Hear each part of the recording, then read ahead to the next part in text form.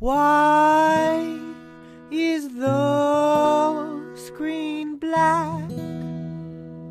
Cause it's all about the music, not about the faces. It's all about your voice, not about your filter of choice. It's about the melody, not videography. Not about who wins, it's about you and me.